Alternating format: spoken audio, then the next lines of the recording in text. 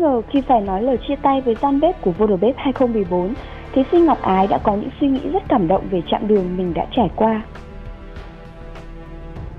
Bởi vì các bạn là những người đã ở top 5 vua đầu bếp thì bất kể một sai sót nào của các bạn cũng sẽ dẫn các bạn rời khỏi căn bếp này.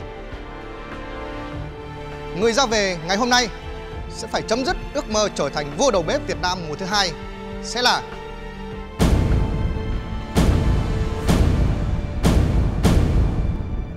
Ngọc Ái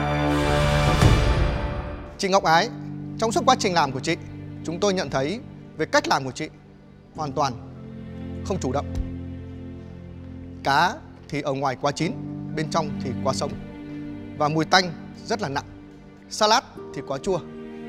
Với tất cả những gì trong quá trình làm của chị và kết quả món ăn thì ngày hôm nay đồng nghĩa với việc chị phải rời căn bếp. Và hy vọng chị vẫn tiếp tục giữ đam mê ẩm thực của mình. Xin cảm ơn chị.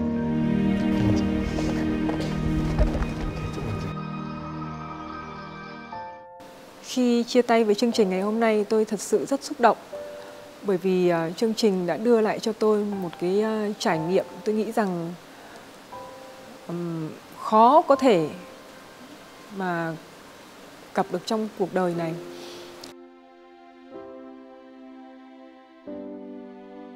Chiếc tập dề của chương trình Vua đầu bếp năm nay nó đã thật sự trở nên thân thiết đối với tôi vì từ trước đến giờ tôi um, sử dụng rất rất rất nhiều tạp dề nhưng chưa bao giờ có một chiếc tạp dề nào có ý nghĩa như vậy.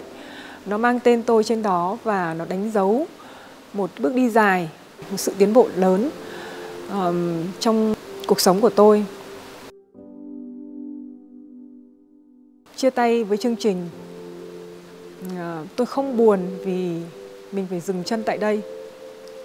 Tôi cũng ngạc nhiên với chính bản thân mình vì đã vượt qua chính mình đứng tại top 5 của chương trình Vô đầu bếp năm 2014 và tôi tin chắc rằng khi bước ra khỏi căn bếp này tôi sẽ tiếp tục với niềm đam mê ẩm thực.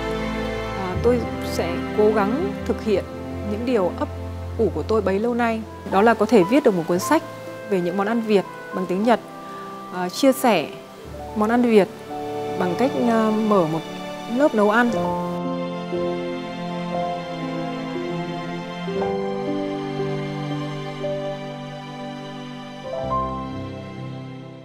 Mời quý vị và các bạn đón xem tập 13 Vua đầu bếp Việt Nam phát sóng 20 giờ ngày 11 tháng 10 năm 2014 và các tập đồng hành cùng Vua đầu bếp Việt Nam phát sóng 13 giờ 55 phút hàng ngày trên VTV3.